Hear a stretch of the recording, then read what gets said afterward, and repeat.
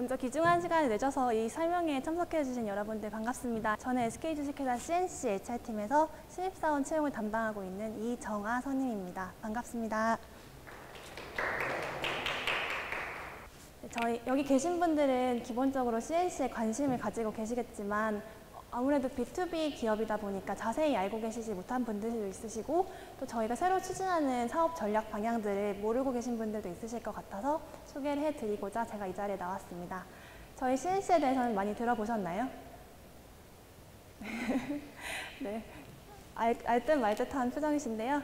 어, C&C에 대해서 말씀을 소, 간략하게 소개를 드리겠습니다. 저희 C&C는 91년에 SI 회사라고 하는 그 system integration, 즉, 즉 관계사 시스템을 통합하는 회사로 출범을 했고요. 91년 설립된 이래로 IT 역량 전문성을 계속 성, 성장시켜 나가면서 15년 8월에 지주회사인 홀딩컴퍼니랑 합병을 하고 현재는 주식, SK 주식회사라는 이름 아래 SK CNC와 SK 홀딩스가 합쳐져서 SK 주식회사 CNC, SK 주식회사 홀딩스의 두 체제로 이어가고 있습니다. 그 중에서도 저희는 이 빨간 부분인 SK 주식회사 CNC의 신입사원을 모집하고 있고요. 저희 사업형 지주 회사로서 알고 계시는 holding company로서의 역할과 저희 기존의 IT 사업 영역을 담당했던 C&C 영역 두 체제가 이어지고 있습니다. 지금 SK 주식회사라고 하셔서 아, IT 사업은 이제 진행하지 않는 건가라는 의문을 가지시는 분들도 계신데요. 저희 C&C가 가지고 있었던 IT 역량은 계속 지속을 하되 Holdings의 그 막대한 자금력을 바탕으로 더, 나, 더 트렌드에 맞는 신규 성장 사업들을 진행을 하고 있습니다. 저희는 단계별로 3년마다 한 단계 한 단계씩 성장을 하고 있는데요. 그 다섯 번째 성장 단계인 필스2비의 비전 슬로건이 크리에이티브 ICT 팩토리입니다. 그래서 공장처럼 창의적인 ICT 산출물들을 만들어낸다라는 의미로 국내 1위 이자 글로벌 기업으로서 도약하고 있는 시점에 있고요. 국내 1위 뉴 ICT 플레이어, 플레이어로 도약하기 위해서 많은 노력들을 하고 있습니다. 그 두 가지 큰 기치로 기술 중심 회사로 도약하기 위해서 기업 IT 분야에서 선도적으로 국내 1위 기업을 넘어서 글로벌 영역을 진출을 하기 위해서 여러 가지 노력들을 하고 있고요. 그것들을 저희는 새로운 변모다, 디지털 혁신이다 라고 해서 Digital Transformation이라고 부르고 있습니다. 또 뿐만 아니라 IBM이나 지멘스 같은 국, 외의 유수 기업들과도 협업을 해서 신규 ICT 분야에서 글로벌 파트너십 기반으로 새로운 영역들을 추진을 하고 있는데요. 아, 많이들 알고 계시는 클라우드나 AI, 빅데이터 영역에서도 많은 사업들을 추진을 하고 있습니다. 아무래도 저희는 다른 제조업과는 달리 Factory라는 타이틀을 다, 비전을 추구하고 있지만 그 재료로서 어떤 원료나 보이는 물질이 아니라 사람을 기반으로 하고 있기 때문에 그 기반에 기술과 성장 지향을 갖춘 ICT 역량을 갖춘 ICT 전문가를 모집을 하고 있습니다. 그래서 그런 전문가들을 확보를 하고 육성을 하기 위해서 많은 노력들을 하고 있습니다. 이 장은 제가 설명회 나올 때마다 자신 있게 소개를 드리는 장표인데요. 취업 준비생의 입장에서 기업을 선택을 하실 때 보상, work-life balance, 기업 문화, 다양한 것들을 고려하겠지만 기업의, 기업이 지속적으로 성장을 하고 있다는 그런 안정적인 부분도 무시를 할수 없는 부분이기 때문에 저희 CNC는 이 부분을 굉장히 자랑스럽게 소개를 해드리고 있습니다. 91년에 성장, 기업이 시작한 이래로 꾸준히 성장을 하고 있고요. 특히 합병 이후에도 계속 지속적인 성장을 하고 있어서 아 이게 지주회사로서 가지는 장점을 기반으로 하는 매출이 아닌가라고 의문을 가지실 수도 있는데요. 요거는 저희 연결을 제외한 저희 C&C 기준의 매출이고요. 지금 3조 정도 달성을 하고 있습니다. 2030년까지 매출 200조 달성을 목표로 하고 있고요. 계속 성장을 하고 있고 또 Digital Transformation이라는 새로운 비전 아래에서 더 크게 성장을 해나가고 있는 시기입니다. 신입사원분들이 신입사원으로 입사를 하게 되시면 더 많은 성장의 기회를 가질 수 있는 적기라고 말씀드릴 수 있겠습니다. 성장 과정을 소개를 드리겠습니다. 제가 이 부분을 소개를 드리는 이유는 아직도 CNC가 SI 회사였다라는 이미지를 가지고 계신 분들이 있으셔서인데요. 어, SI라고 해서 이제 관계사들, 텔레콤이나 기존의 이노베이션, 네트워크스, 이렇게 통신 에너지 유통 영역에서 흩어져서 하고 있었던 IT 영역의 시스템 사업들을 모아서 하나의 회사로 출발을 했고 그렇게 하면서 IT 역량을 결집해서 성장 해 나가면서 아, 이런 IT 역량을 이제 발산을 해보자라고 해서 금융이나 국방, 정부와 같은 공공 영역에서 많이 IT 역량을 쌓았고 이제 홀딩스랑 합병도 했고 그런 역량들을 많이 갖추었고 인적 역량도 갖추었으니 아, 새로운 New ICT 사업들을 추진을 해보자라고 해서 클라우드, AI, 빅데이터 기반으로 해서 많은 사업들을 추진을 하고 있습니다. 또 IBM이나 지멘스, 아까 말씀드렸던 국내외 기업과도 협력을 통해서 지금 왓슨, Aibril, Cloud Z 같은 사업들을 추진을 하고 있고요. 어, 아, 입사를 하게 되시면 어떤 사업 영역에서 이제 내가 어떤 업무를 하게 될지 많이 궁금해 하실 텐데 크게 저희 회사의 사업 영역을 나눠 보면 New ICT Biz, New IT Service Biz, New Biz 이렇게 세 가지 사업 영역으로 나눌 수 있겠습니다. 자세한 설명은 다음 장에서 드리겠는데요. 네, New ICT Biz가 저희 여러분들도 많은 관심을 가지고 계시고 또 IT를 전공하신 분들이고 IT에 관심을 가지고 계신 분들이라면 한 번쯤 이제 이 영역에서 업무를 해보고 싶다라고 생각하시는 영역들이실 텐데 클라우드 AI, 빅데이터, Smart Factory 영역입니다. 그래서 클라우드 같은 경우에는 현재 PaaS나 SaaS 형태의 서비스들을 제공을 하고 있고 또 저희 사내에서도 사내 시스템도 이제 IaaS 형태로 전환을 하기 위해서 여러 가지 클라우드 전환 사업들을 추진을 하고 있습니다. 그래서 사업 영역에서 뿐만 아니라 사내 시스템도 전부 클라우드화하는 작업을 진행을 하고 있고요. 판교의 데이터 센터 구축을 해서 클라우드 환경을 만드는 데 가장 필수적인 요소인 서버, 네, 서버 역량, 역량까지 확보를 하고 있습니다. 그래서 어, 고객을 대상으로 하는 클라우드 사업들도 있지만 기업이라는 큰 규모의 사업 영역들을 확보를 하고 있고요.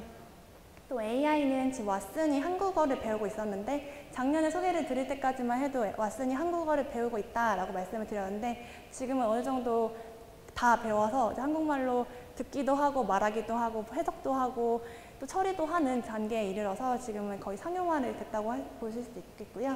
얼마 전에 이제 9월 초에 Aibril Opening Day라고 해서 Aibril이라는 저희 실제 AI 브랜드를 런칭을 하고 여러 가지 시스, 상품들을 소개하는 자리도 가졌었습니다. 지금 알고 계시는 그 텔레콤의 누구와도 지금 협력을 해서 누구의 저희 에이브리를 탑재를 해서 AI 역량을 가, 영역 그러니까 누구가 AI로서의 영역을 갖출 수 있도록 협력하는 사업들도 하고 있고요. 또 병원과도 협력을 통해서 AI가 치료를 할 수 있는 그런 사업들도 추진을 하고 있습니다. 빅데이터 같은 경우에도 이제 아, 빅데이터라고 생각하시면 학교에서 빅데이터를 접하신 분들은 그 규모를 상상이 안 되실 텐데 저희 인턴이나 신입사원분들이 저희 회사에서 빅데이터 업무를 하시고 나면 아 정말 이렇게 큰 데이터를 돌릴 수 있었다는 있는 경험을 해본 게 처음이라 놀랐다라는 말씀들을 많이 하세요. 그래서 그런 빅데이터 설계뿐만 아니라 분석, 또 엔지니어링, 또 아키텍처 이런 영역에서도 신입사원분들이 업무를 많이 하고 계십니다. Smart Factory라고 해서 제조 공정화 사업들도 하고 있는데요. 이거는 여, 옆에 있는 IT 서비스 비즈에서의 제조 사업과도 연결이 되기 때문에 같이 말씀을 드리면 저희 관계사 중에 SK 하이닉스나 SK 이노베이션 같은 경우에 큰 공장을 가지고 있어요. 그 공장, 공장에서 공정을 효율화하고 제조를 효율화하는 시스템들을 구축하고 그런 시스템들의 이제 설계를 하는 영역들도 있고요. 또 텔레콤이나 브로드밴드 같은 저희 관계사의 어, 통신 사업 영역에서 또 웹 모바일 기반으로 유무선 복합 플랫폼 사업들도 추진을 하고 있습니다. 이, 저희가 이 영역에서 관계사의 시스템을 구축하고 운영하는 것뿐만 아니라 자체 사업들도 많이 추진을 하고 있고요. 금융 같은 경우에도 이제 어, 저희 관계사인 SK증권뿐만 아니라 또 음, 대규모 이제 은행들의 다음 차세대 그 시스템을 준비하는 차세대 사업이라던가 핀테크, 인터넷 뱅킹 같은 새로운 뱅킹 분야에서도 많이 도, 사업을 추진을 하고 있습니다. 서비스 사업 같은 경우에는 ERP나 MIS 같은 경영지원 시스템들을 운영을 하는 영역이고요. 이 New Biz 같은 경우에는 저희가 자회사 형태로 가지고 있는 사업들인데요.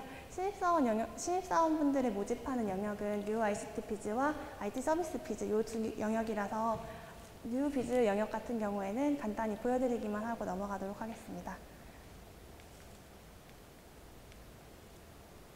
네, 저희가 이런 사업들을 하고 있지만 저희는 누구처럼 이렇게 고객들을 접점으로 대상으로 하는 사업들이 아니기 때문에 여러분들이 기사를 찾아보시거나 주식회사 C&C에 관심을 가지고 지속적으로 찾아보시지 않으시면 접하시기 어렵고 아 주식회사 C&C가 SI 회사인데 아, 이런 사업 하고 있는 거 맞아? 거짓말하는 거 아니야? 라고 생각하실 수도 있어서 실제로 저희가 가지고 있는 브랜드들을 소개해 드리려고 보여드렸습니다.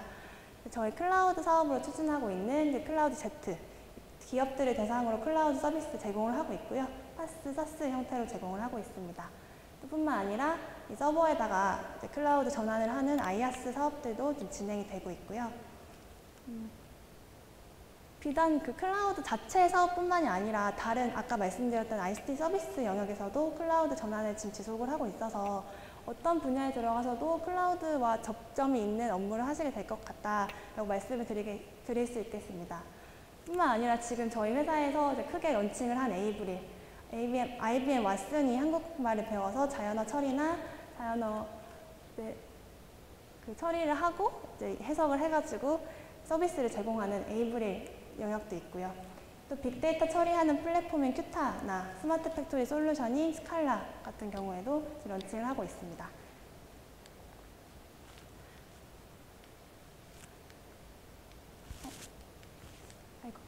아까 말씀드렸듯이 저희는 팩토리로서 어떤 사업을, 사람을 이제 재료로 하는 공장이기 때문에 인적 역량을 굉장히 중요시하고 있는데요. 여러분들이 학교에서 많은 이제 전문가로서의 역량을 갖추셨을 것 같지만 같은데 그걸 뿐만 아니라 회사에서 입사를 하셔가지고 업무를 하실 수 있고 또 다른 영역에서 내가 또 성장을 하고 싶다라는 욕구를 충족시켜 드릴 수 있도록 저희가 많은 서비스, 많은 교육들을 제공을 해드리고 있어요. 그래서 음, 보시면 공통 기반 교육 체계라고 해서 프로그래밍 기초부터 해서 모델링, 아키텍팅 이런 다른 영역의 개발 영역들 접하실 수 있는 공통 기술 영역 체계들도 있고 또 학교에선 접하시기 어려웠던 이론으로만 접하셨던 클라우드나 AI, 빅데이터 영역의 New ICT 기술 교육 체계들도 갖추고 있습니다. 뿐만 아니라 아, 이론으로만 기술을 접하면 식상하실 수 있기 때문에 실제적으로 직접 기술 전문가들을 만나셔서 대화를 나눌 수 있는 그런 자리들도 마련을 하고 있습니다. 실제로 어떻게 교육이 이루어지고 있는지를 보여드리기 위해서 저희 과정을 보여드리고 있는데요. 워낙 다양한 과정들이 있다 보니까 조금 복잡해 보일 수 있겠지만 간단하게 말씀을 드리면 프로그래밍이나 모델링, 아키텍팅 본인이 역량을 갖추고 있지만 한 단계 업그레이드 하고 싶다거나 아니면 본인이 개발 역량뿐만 엔지니어로서의 개발 역량뿐만 아니라 아키텍트 역량도 갖추고 싶다라고 했을 때 이런 교육들을 제공을 해서 충분히 그런 역량을 갖추실 수 있도록 제공을 해드리고 있고요. 또 신입사원분들이라고 해도 이런 영역에서 내가 전문성을 가지고 있다라고 인정을 받으시면 실제로 강사로 활동을 하고 계신 분들도 있습니다. 그래서 사내 외 강사를 통해서 이런 역량들을 충분히 갖추실 수 있도록 제공을 해드리고 있습니다. 뿐만 아니라 기술 트렌드에 대해서도 교육을 해드리고 있는데 제가 신입사원분들이 이 교육을 접하시면 아, 학교에서 배웠던 것보다 조금 더 한 발 트렌드에 앞서 있어서 좋았다라는 의견들을 많이 주세요. 그래서 open source나 OpenStack이나 public cloud 같은 개념들이 학교에서는 이론을만 접하고 실제로 세, 그, 테스트를 해보고 싶으셔도 어, 자료나 아니면 배경 그라운드가 안 돼서 못 하시는 경우에도 저희가 실질적으로 실험을 하고 워크숍을 통해서 시, 역량을 개발하실 수 있도록 단계별로 빅데이터, AI, 클라우드 쪽 저희 실제 Cloud Z나 Aibril 기반으로 교육을 제공을 하고 있습니다.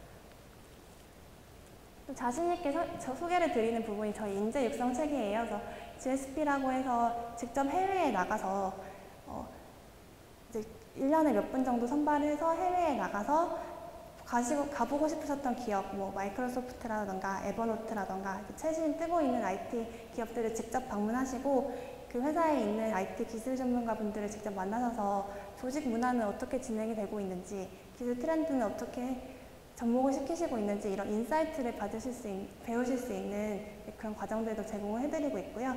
다니고 오신 다음에 많은 insight를 얻어오셔서 사내에서 뭐 세미나를 통해서 공유도 해주시고 실제적으로 업무에 적용하시면서 많은 발전을 하셨다라는 분들도 계십니다.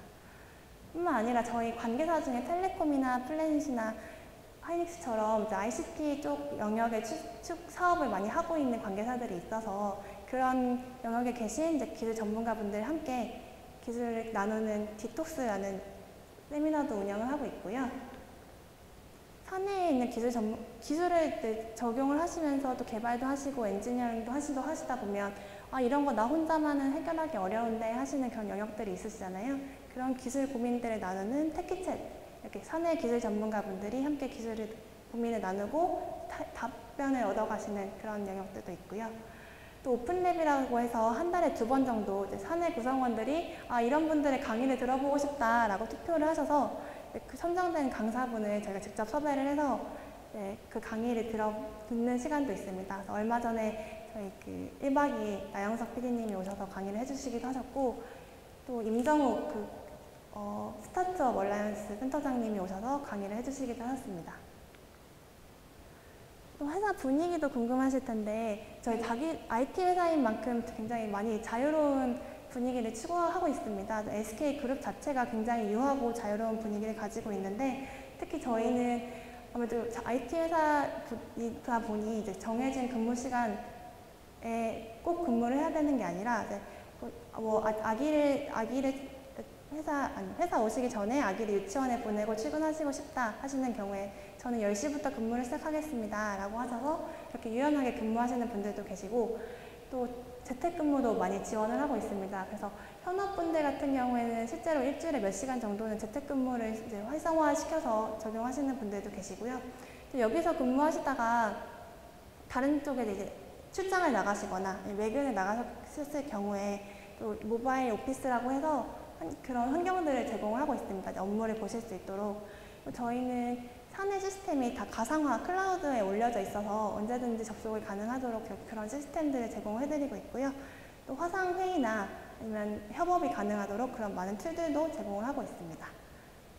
또 저희가 어, 여성 구성원들의 이제 복지나 회사 생활을 위해서 많은 노력들을 하고 있는데 가족 제, 가족 친화 인, 친화 우수 기업 인증이라고 해서 이제 여성가족부에서 인증을 해주는 게 있는데 13년에 한 번 인증이 됐고 올해 또 재인증을 받았어요. 그래서 이제 구성원들의 가족 친화 또 work-life balance를 위해서 많은 노력들을 기울이고 있고 특히 여성분들을 위해서 임신 구성 임신하셨을 때 케어를 하시는 하는 부분이라던가 아니면 남성 직원도 육아 휴식을 쓸 수 있도록 지원을 하고 있습니다. 특히 임신 구성원 같은 경우에는 이제 저희가 빼, 저희가 빨간색 아이디 카드를 메고 있는데 핑크색 아이디 카드로 바꿔드려요. 그래서 아기 마중이라고 써 있어가지고 그걸 차고 계시면 막 실제로 이제 복사도 복사기에 가시려고 해도 차장님들이 어 복사도 하지 마 아기 아기가 있는데 그러시면 안- 그러면 안 됩니다 하시면서 실제로 복사도 못하게 하시고 되게 되게 소중히 아껴주시는 그런 문화입니다. 또, 자, 또 자신 있는 부분이 사내에 어린이집이 있어요.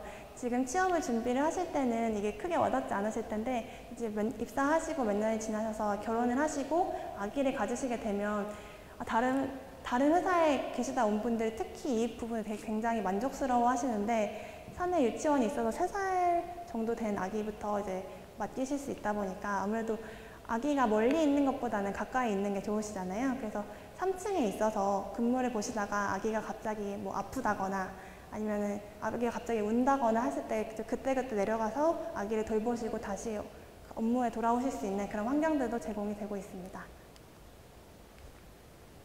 이건 간단히 저희 회사의 시설들을 보여드리고 있는 거고요. 여기 보시면 여기 어린이집 이거 저희가 자신 있게 소개해드리는 부분입니다. 어디서 근무를 하게 되실지 궁금하실 텐데 첫, 첫 번째는 저희 분당 본 전, 정자 사옥은 저희 맛집의 메카인 분당 정자역에 위치를 해 있고요.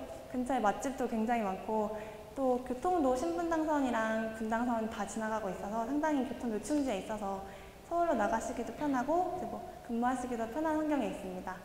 또 다른 맛집의 메카인 판교에도 사옥이 캠퍼스가 있어서 크게 이 두 캠퍼스가 있고요. 수도권에서 근무를 하게 되시면 분당이나 판교 사옥에서 근무를 하게 되실 거고요. 또 smart factory에 관심이 있으시거나 하신 분들은 이제 하이닉스가 위- 하이닉스가 위치한 이천 쪽에서도 근무를 하시게 되실 수 있습니다. 신입사원 모집 일정을 말씀을 드리겠습니다. 이번 신입사원 모집은 20일 자정까지 진행이 되고 있고요. 자정에는 조금 마음이 급해지실 수 있으니까 11시쯤, 22일 11시쯤부터 준비를 하시고 제출을 해주시면 될 것 같고요. 합격 서류 전형을 거쳐서 합격자 발표는 10월 20일 금요일에 진행이 됩니다. 서류 전형 같은 경우에는 SK 스펙 많이 보는 거 아니야? 학교만 보고 자르는 거 아니야? 이렇게 궁금해하시는 분들이 많으실 것 같은데 저도 취준생의 시절에는 아, 엑셀로 작업한다 이런 소문들이 많이 들어와서 많이 걱정을 했었는데 실제로 담당자가 들고 보니까 저희는 한 사람의 자기소개서를 최소한 다섯 분 이상의 심사위원들이 검토를 하시고 그 자기소개서를 평균을 내서 진행을 하고 있습니다. 그래서 일주일 이상 걸리고 심사위원분들이 정말 눈이 아프다, 그만 보고 싶다 이렇게 많이 이렇게 많이 봐야 되냐 하실 정도로 정말 다 보고 있어서 이 부분은 오해의 소지가 없으셨으면 좋겠고요. 어, 정, 정말 꼼꼼하게 자기소개서를 심사를 하고 있습니다. 또 제가 드릴 때 최대한 블라인드로 하기 위해서 이름, 성별, 학교, 심지어 이메일 주소까지 다 가리고 텍스트만 심사위원들 분들께 보여드리고 있고요. 그래서 정말 문자 그대로 자기소개서에 자, 본인이 작성하신 내용만을 바탕으로 심사가 이루어지고 있습니다. 그렇게 힘들게 자기소개서 심사로 거쳐서 합격이 되시고 나시면 네, SKCT 필기 전형을 응시를 하게 되고요. 저희 SKCT 같은 경우에는 저희는 경영전 직군을 모집을 하고 있지 않기 때문에 소프트웨어 타입으로 응시를 하시게 될 예정입니다. 10월 29일에 SKCT를 보고 나시면 11월 초에 합격자 발표가 나시고 1, 2차 면접을 진행을 하시는데요. 1차는 직무 면접, 2차는 이제 최종 면접으로서 인성 위주로 진행이 될 예정입니다. 그래서 11월 중에 면접을 보시고 나면 합격을 발표를 12월 초에 받으시고 합격자 발표로 이제 합격이 되신 분들은 12월, 18년 1월에 1월 1일에 입사하시고 그룹 연수를 받으신 후에 저희 자사 교육을 받으실 예정입니다. 모집 분야에 대해서 소개를 드리겠습니다. 저희는 대상은 이제 18년 1월에 저희 회사에서 근무가 가능하신 분, 즉 졸업 요건을 다 충족하셔서 졸업을 가능하신 분들이고요. 이 기준은 학사 기준입니다. 그래서 석사 학위를 가지신 분들은 이미 학사로서의 졸업 요건을 다 충족을 하셨기 때문에 석사 뭐 중간 중간에 졸업 시점이 안 맞는데 괜찮을까요? 하시는 분들은 졸업 요건 졸업 요건으로서의 기준을 충족을 하셨다고 말씀을 드릴 수 있겠습니다. 크게 지금 두 가지 직무에서 모집을 하고 있는데요. ICT랑 ICT 지역 이렇게 두 가지 직무를 선택 가능하십니다. 이 UICT나 어플리케이션 인프라 같은 세부 직무들은 어디서 선택이 가능한지 궁금하실 텐데 저희 자기소개서 4개 문항 중에서 3번, 3-1번 문항에서 세 영역 중에 어느 쪽에 자기가 관심이 있는지를 작성을 하실 수 있고요.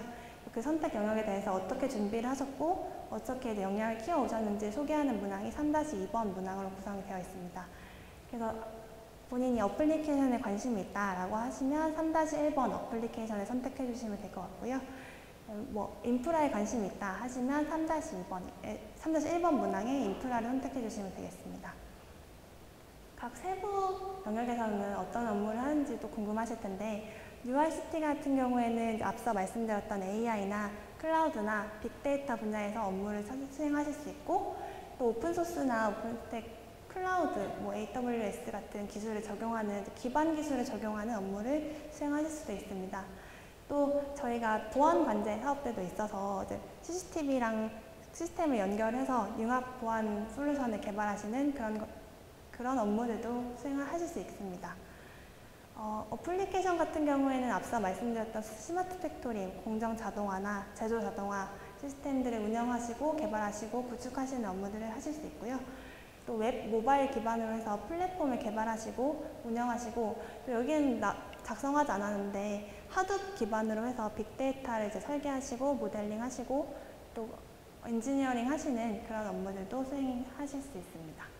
인프라 같은 경우에는 이제 개발보다는 네트워크나 데이터베이스나 서버 관리 쪽에 좀 영향이 관, 영향을 쌓고 계신 분들도 계셔서 그런 분들을 모시는 직무이고요.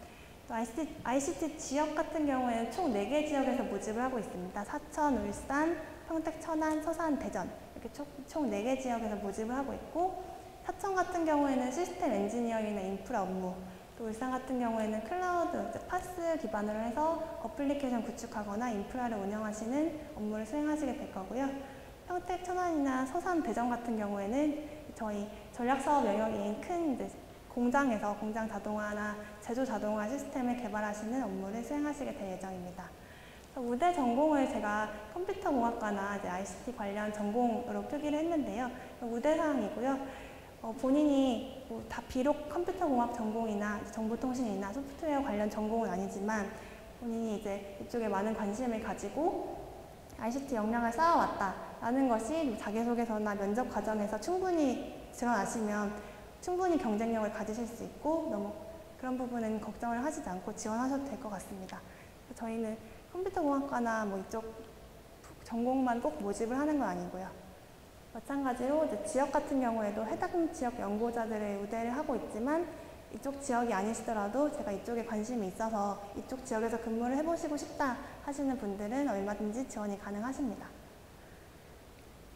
그냥 신입사원, 그 취업을 이제 목전에 두시는 신입사원 분들은 아, 당장 취업에 하셔서 내가 어떤 회사에서 어떤 업무를 하시는지가 되게 굉장히 중요하실 수도 있는데 저희 SK 주식회사 CNC는 이제 신입사원 여러분들을 어떤 ICT 전문가로서의 첫 걸음으로 보고 있어요. 그래서 저희 회사가 사명감을 가지고 저희 회사에서 쭉 이제 앞으로의 뭐 ICT 인생을 이어가시는 분들도 계실 거고 또 저희 회사의 첫 걸음으로 하셔서 첫 단추로 하셔서 다른 영역에서 또 ICT 전문성을 이어가시는 분들도 계실 텐데 어쨌든 신입사원으로 저희 회사를 처음 만나게 되시면 저희가 그 첫 걸음을 제공해드리는 거기 때문에 저희는 신입사원분들에 대해서 굉장히 사명감을 가지고 어떤 업무를 드릴지, 어떻게 육성을 해나갈지, 저- ICT 전문가로서의 첫 걸음을 어떻게 드릴지에 대해서 굉장히 많은 고민을 하고 있고 그런 제도들을 만들고 또 그렇게 육성해 나가기 위해서 많은 노력과 고민들을 하고 있습니다. 어, 배치뿐만 아니라 배치 후에 어떤 교육을 받으시는지 이런 것들도 많이 고려를 하셔서 회사를 선택하셨으면 좋겠고요.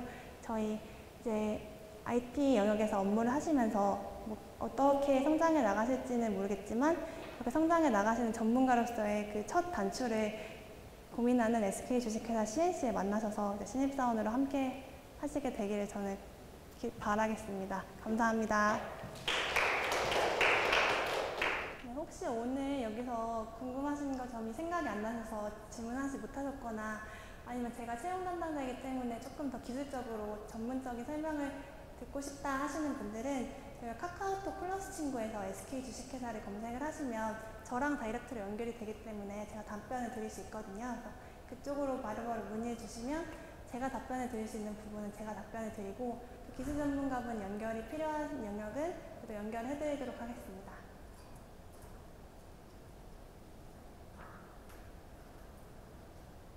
그러면 이상으로 설명회를 마치겠습니다. 들어주셔서 감사합니다.